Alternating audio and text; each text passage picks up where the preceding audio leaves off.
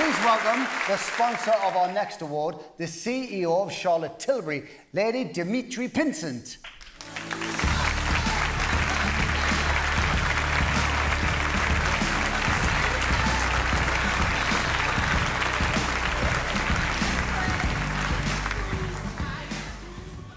Your Royal Highness. Hello, everyone.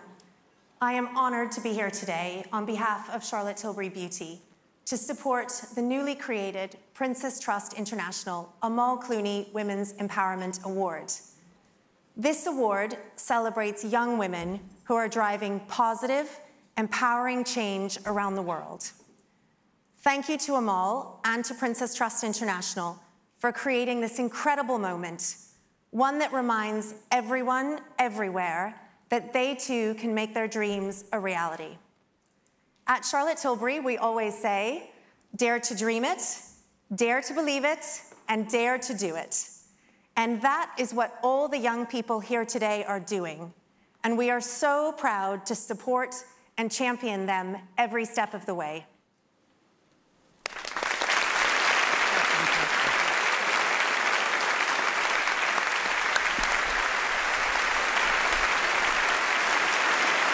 The first ever Amal Clooney Women's Empowerment Award is sponsored by Charlotte Tilbury and it recognises young women from around the world who've made a significant and long-lasting difference to those around them. To present it is a woman who's dedicated her life to international human rights, which means at least one person in her house has got a proper job.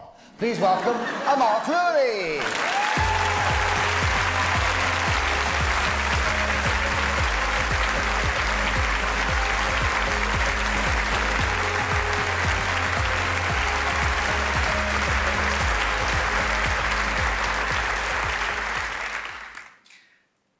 So much, and hello to everyone, Your Royal Highness. It's an honour to have been invited to present an award by the Prince's Trust International, and a particular pleasure to be able to champion young women making a difference in their communities. This year's awardee was born unable to use her legs, so she used her hands, and by the age of 16, she had published her first book. She has limited mobility, but she has crisscrossed the globe advocating for the rights of girls and the disabled, including the right to education. In her home country of Pakistan, less than 13% of girls graduate from high school, and even fewer girls with disabilities ever do. In her region, being female can itself be considered a disability. Just ask girls today in Afghanistan. But our awardee took every stereotype and debunked it, each barrier she faced and broke it. She refuses to accept the status quo and fights to change it not just for herself, but for all girls and all those with disabilities. Her advocacy brings light to the darkest places and I hope that after receiving this award, she will be able to shine even more brightly. Ladies and gentlemen, it's my great honor to introduce the first ever winner of the Women's Empowerment Award, Miss Tanzila Khan.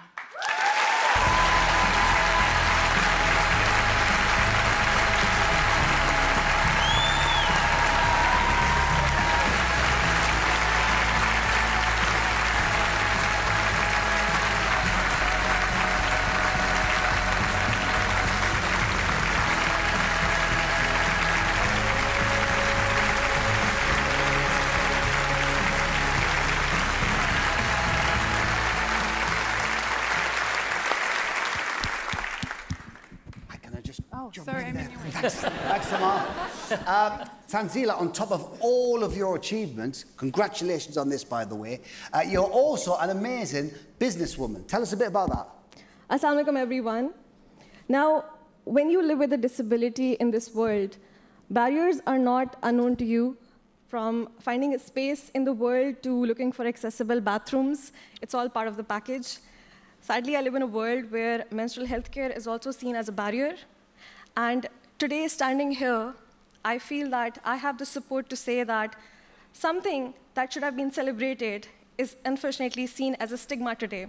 The reason why we all are here in this world today is menstruation. We all are here in this hall today enjoying this amazing afternoon is menstruation. So why is that a stigma? Mm. And holding this award...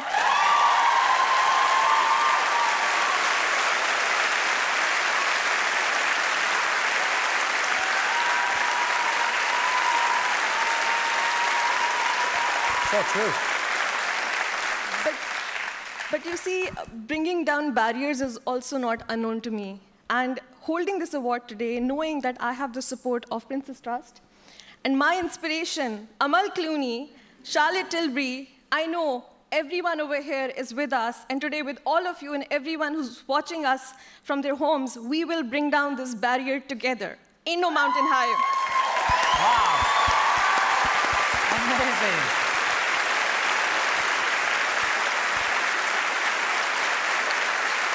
And Tanzila, if you would, would you tell us about also your business, Girly Things? Tell us. Yes. Girly Things is an initiative that was born out of my own experience.